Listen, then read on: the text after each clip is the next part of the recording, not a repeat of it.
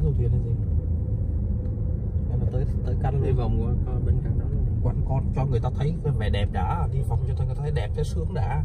Chứ nhìn lên trên này chứ họ thấy thì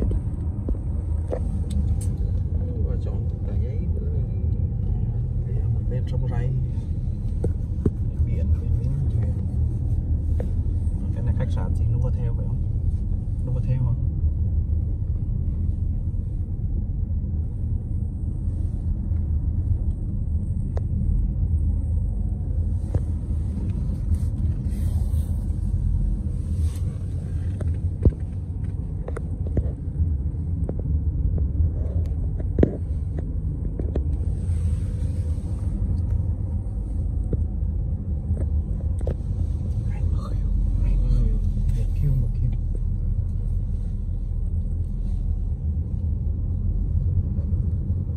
dưới đây hết rồi.